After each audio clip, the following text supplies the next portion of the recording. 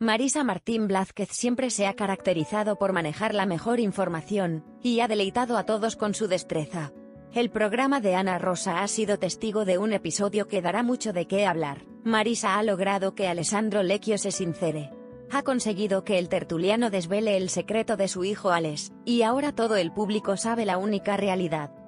Marisa Martín Blázquez ha dado una noticia sobre la obra que ha escrito Ana Obregón, un proyecto que en teoría empezó Alex.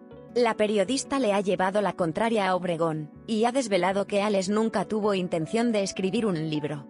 Lo que realmente estaba haciendo era narrar sus vivencias a modo de diario y ahí es donde ha entrado Lequio.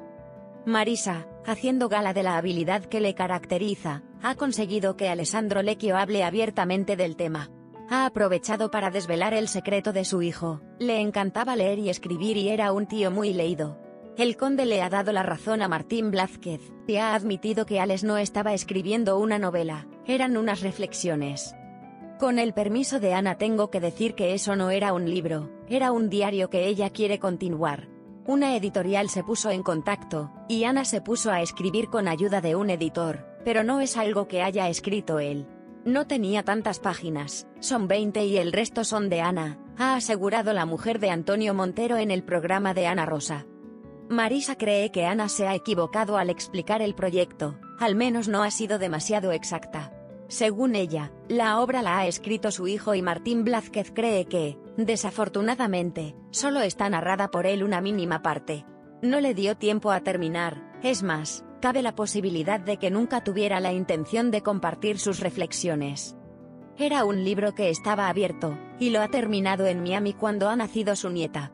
Tenía un final abierto que lo ha terminado cuando ha visto la carita del bebé. Ella lo quiere presentar por videollamada.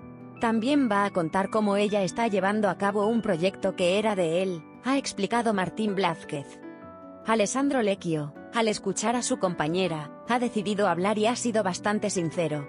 De hecho ha destapado uno de los grandes secretos de su hijo, pero es algo muy bueno.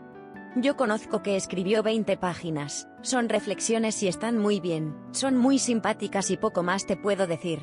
Sí podría ser el germen de un libro, pero no voy a decir si me importa que todo el mundo pueda leerlo. No tengo conocimiento sobre el resto de las páginas, comenta haciendo alusión al libro que ha escrito Ana Obregón. Mi hijo era muy leído, le encantaba leer y escribir, era muy culto para su edad, ha dejado claro. A lo que Cristina Tárrega ha añadido, Escribía muy bien porque tenía una empresa de marketing.